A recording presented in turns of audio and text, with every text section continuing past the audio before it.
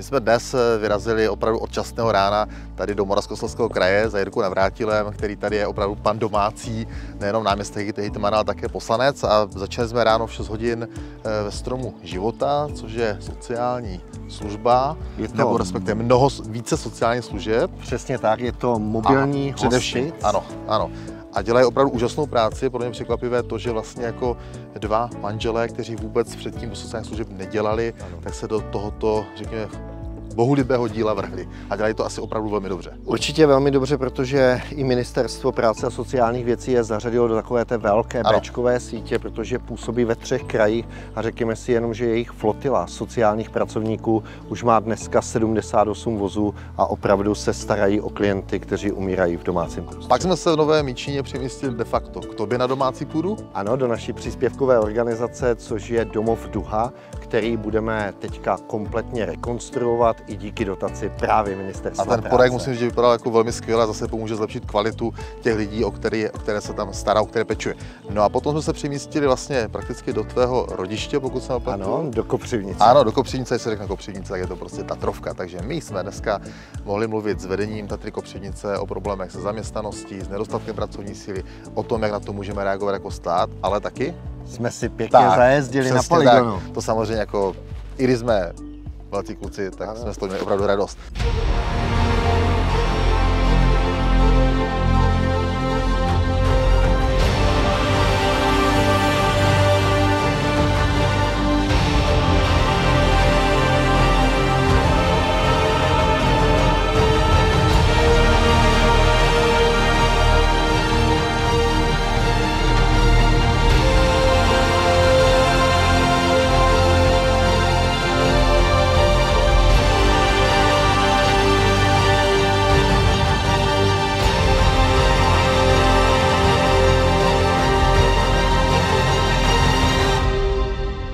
Skvělé Tatrovky, opravdu musím říct, jako krásná práce českých rukou. Třetí, třetí nejstarší automobilka na světě. Přesně. A na to můžeme být opravdu hrdí. No a potom jsme se přesunuli do České zprávy sociálního zabezpečení do Frýdku. Přesně tak.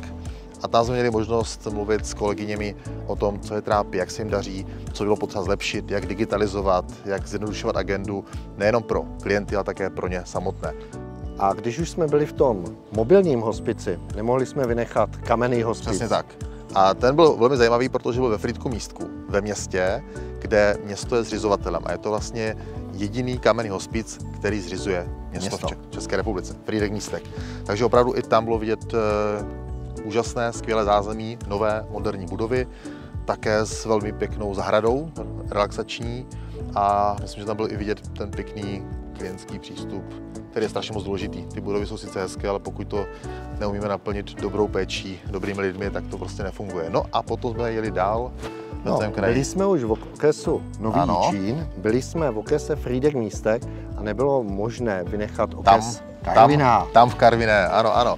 Takže tam jsme se mrkli na, řekněme, neúplně jednoduchou situaci, která tam v Karviné je a to je problematika, řekněme, vyloučené lokality, se kterou zápasí více města obcí České republice a měli jsme možnost s panem primátorem a také s kolegou poslancem eh, se podívat vlastně na ty problémy, které tam trápí. Určitě.